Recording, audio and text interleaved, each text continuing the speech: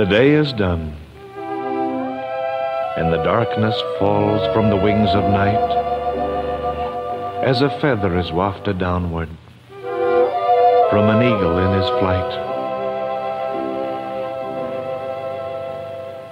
I see the lights of the village gleam through the rain and the mist. And a feeling of sadness comes o'er me that my soul cannot resist. A feeling of sadness and longing that is not akin to pain and resembles sorrow only as the mist resembles the rain.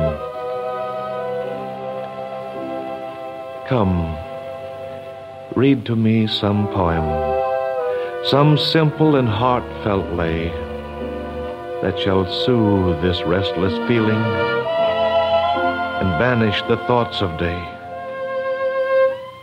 Not from the grand old masters, not from the bard sublime, whose distant footsteps echo through the corridors of time. For like strains of martial music, their mighty thoughts suggest life's endless toil and endeavor. And tonight, I long for rest. Read from some humbler poet whose songs gushed from his heart as showers from the clouds of summer or tears from the eyelids start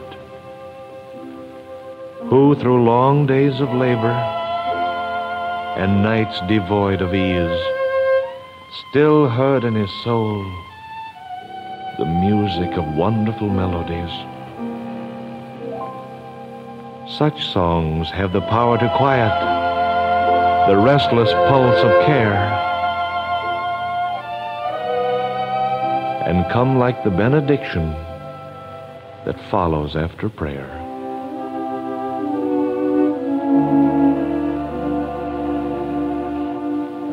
Then read from the treasured volume the poem of thy choice, and lend to the rhyme of the poet the beauty of thy voice.